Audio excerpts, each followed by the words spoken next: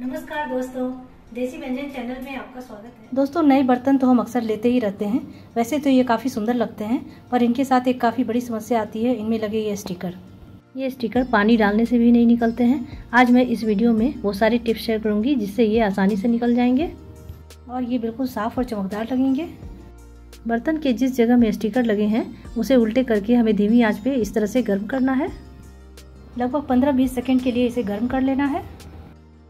अब चिमटे की सहायता से इसे निकाल लेना है। अब ये काफ़ी आसानी से निकल जाएँगे। गर्म करने के बाद ये स्टिकर कितनी आसानी से और बिल्कुल साफ़ निकल आए हैं। इसी तरह से हम इसके भी स्टिकर को निकाल लेंगे।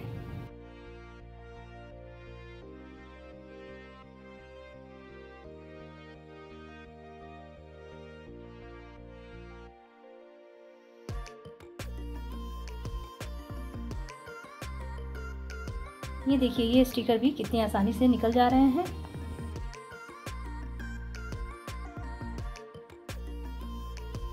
आप वीडियो में देख रहे होंगे, इस थाली में तीन तीन स्टिकर लगे हैं। कई बार हम ये सोचते हैं कि बर्तनों को यूज़ करते करते ये अपने आप ही निकल जाएँगे और स्टिकर लगे हुए ही इसे यूज़ करने लगते हैं। लेकिन इस ट्रिक से बर्तनों के सारे स्टिकर को बिल्कुल साफ़ निकाल सकते हैं। जहाँ पे स्टिकर लगे हुए हैं, उसके नीचे से हमें हीट कर देना है।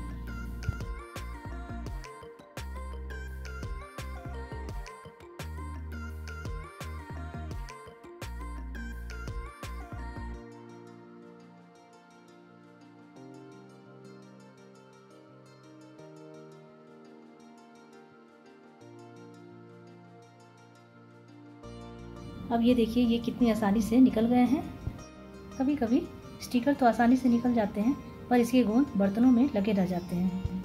इस गोंद को साफ़ करने के लिए जहाँ पे ये लगे हुए हैं, वहाँ दो बूंद नेल पॉलिश रिमूवर डाल देना है और इसे एक मिनट के लिए इस तरह से उंगलियों से रगड़ देना है।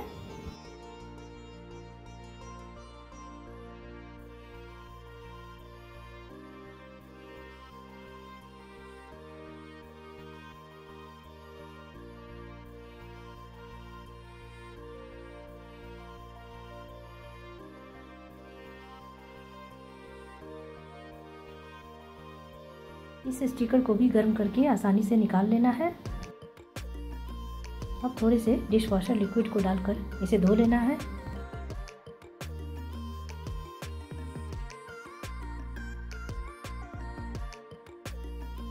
ये देखिए, बिल्कुल साफ़ और चमकदार बर्तन यूज़ करने के लिए रेडी है।